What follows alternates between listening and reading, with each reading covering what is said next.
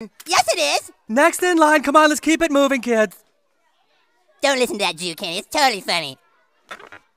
Take off your hat, please. But I never take off my hat. Well, come on now. I bet your parents want a picture of you looking natural. This is how I look natural. Kyle, we're taking pictures without hats today. Crap. Smile. Come on, where's that smile? Is it gonna kill you to smile? I see a smile. Next. Gay Very nice. Okay, last one. Okay, have a seat, young man.